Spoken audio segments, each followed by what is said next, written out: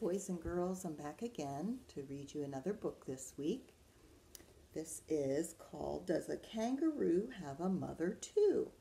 by Eric Carle. And if you remember, that's the uh, author I read last week with the uh, book that you could do all the movements to. All right, so uh, here's our kangaroo and the baby in the pouch. Let's see all the animals that are going to be in this book. Does a kangaroo have a mother too?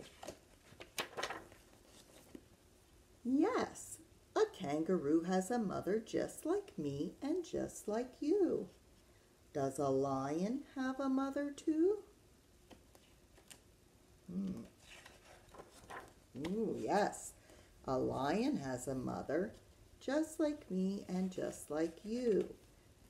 Look at the baby lions. Does a giraffe have a mother too? Yes, a giraffe has a mother just like me and you. Look at the giraffe. A giraffe was in our book last week.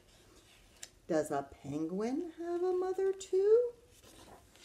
Yes, a penguin has a mother just like me and just like you. Does a swan have a mother too? Yes, a swan has a mother just like me and just like you. Right now, if you would go to a lake or a river, you would see lots of baby ducklings. Does a fox have a mother too? Yes, a fox has a mother just like me and just like you.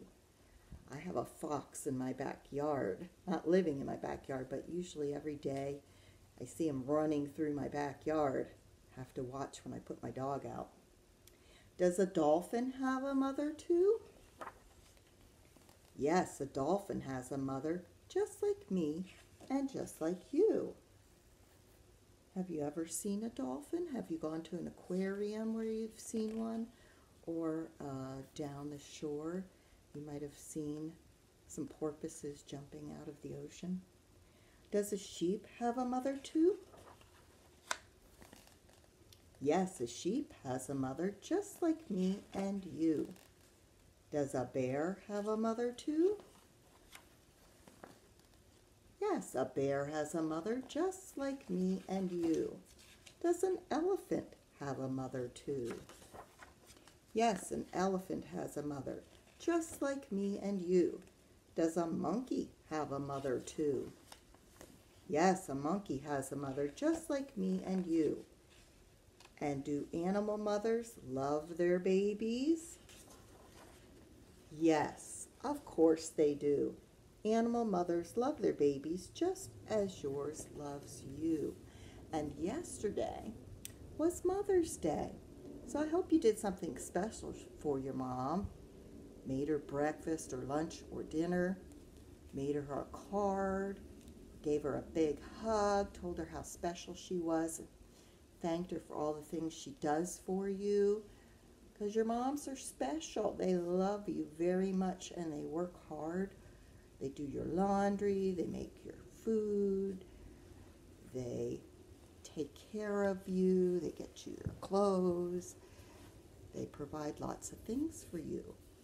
So thank your mom for all the things she does for you and give her a big hug and tell her how much you love her.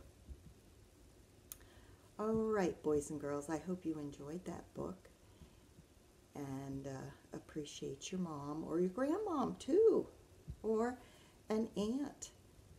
They're all special in your life. Okay. I hope you're uh, enjoying your time at home and you're not too bored and you're getting outside to play. Miss you. Hugs, kisses. Mwah.